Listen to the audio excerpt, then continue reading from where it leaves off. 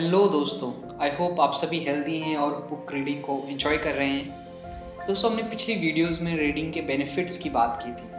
आज हम बात करेंगे कि हम एक अच्छा रीडर कैसे बन सकते हैं how to become a better reader और साथ ही हम जानेंगे उन हैबिट्स के बारे में जो आपको एक इफ़ेक्टिव रीडर बनाएँगे। तो आइए दोस्तों, शुरू करते हैं।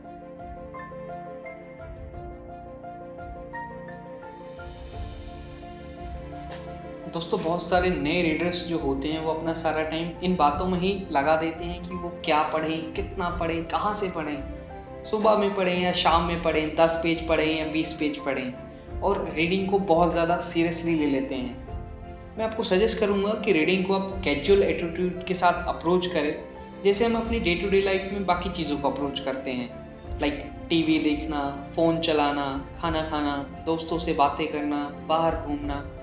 हम एक बेहतर रीडर तभी बन पाएँगे जब हम रीडिंग को रीडिंग की तरह ही लेंगे।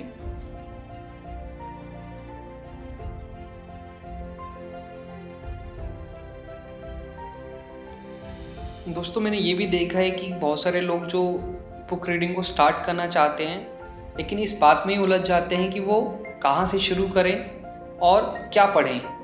फिक्शन पढ़ें नॉन फिक्शन पढ़ें ऑटोबायोग्राफीज पढ़ें या जर्नल पढ़ें ड्रामा देखें या थ्रिलर को पढ़ें।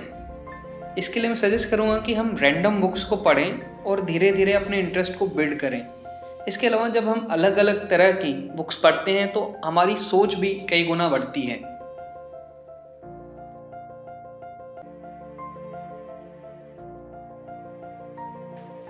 दोस्तों, बहुत सारे लोग ये भी बोलते हैं कि उनका डेली स्केड्यूल इतना बिज़ी होता है कि उन्हें पढ़ने का टाइम ही नहीं मिलता। इसके लिए दोस्तों मैं आपको सजेस्ट करूँगा कि आप अपने टाइम पॉकेट्स को यूज़ कर सकते हैं। आप जानना चाहेंगे कि ये टाइम पॉकेट्स क्या होते हैं? दोस्तों, ये time pockets hundreds of minute हैं, जो हमारे सामने से बड़ी आसानी से निकल जाते हैं और हमें पता भी नहीं चलता। फॉर एग्ज़ाम्पल जब आप बस या ट्रेन में ट्रैवल कर रहे होते हैं, या आप किसी रेस्टोरेंट में, या किसी थिएटर में किसी का वेट कर रहे होते हैं आप घर के काम कर रहे होते हैं और काम के दौरान आपको एक्स्ट्रा टाइम मिलता है। ये वो सारा टाइम होता है जो हम अनजाने में वेस्ट कर देते हैं और अगर इस टाइम का सही इस्तेमाल करें तो हम डेली रीडिंग को बढ़ा सकते हैं।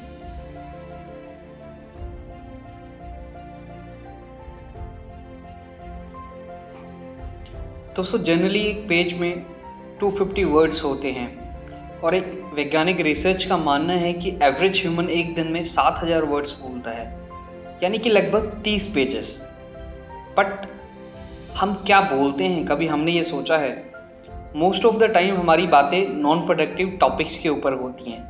लाइक चिट चैटिंग करना गॉसिपिंग करना।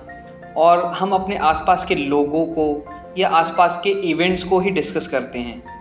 एक मेरा फेवरेट कोट है small mind discuss people average mind discuss events but the great mind discuss ideas इसलिए हमें डेली डिस्कशन में बुक्स और उनके अंदर के आइडियाज़ को डिस्कस करना चाहिए और अपनी रीडिंग स्किल्स को बेटर करना चाहिए।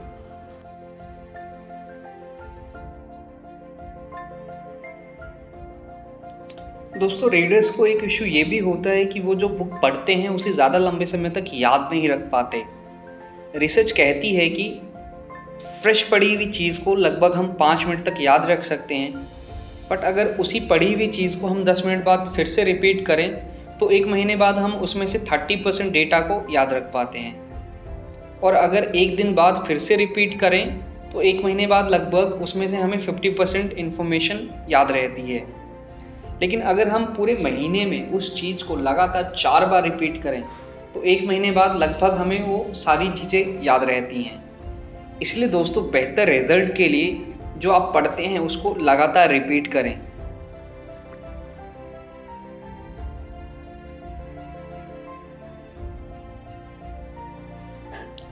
फ्रेंड्स इन पाँच ट्रिक्स को अपनाकर आप भी एक बेहतर रीडर बन सकते हैं। आपको ये वीडियो कैसा लगा कमेंट में ज़रूर बताएँ। और अगर चैनल पर आप नए हैं तो चैनल को सब्सक्राइब करना ना भूलें। वीडियो इन्फॉर्मेटिव लगा हो तो इसे अपने दोस्तों के साथ ज़रूर शेयर करें।